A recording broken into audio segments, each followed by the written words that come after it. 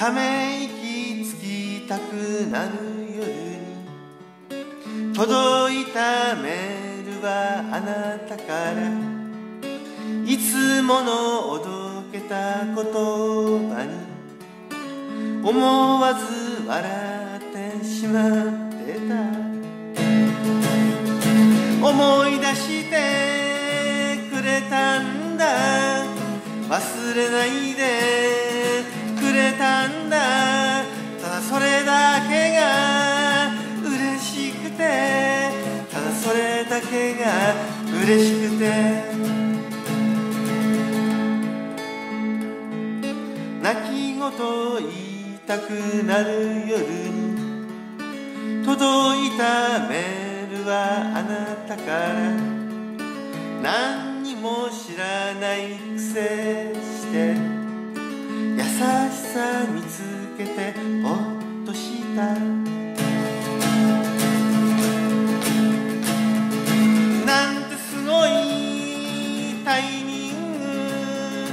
なんて素敵なタイミング。もうそれだけで嬉しくて。もうそれだけで嬉しくて。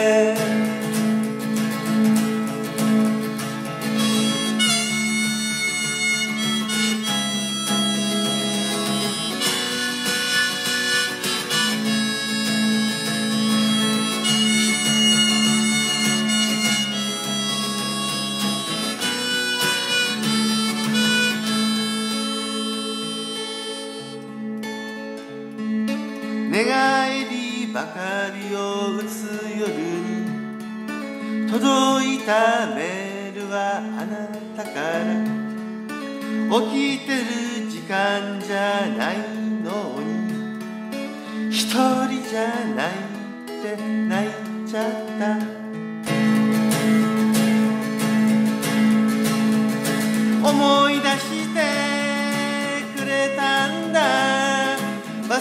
ないでくれたんだ。ただそれだけが嬉しくて。ただそれだけが嬉しくて。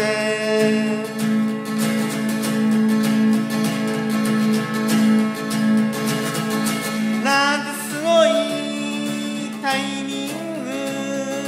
なんて素敵な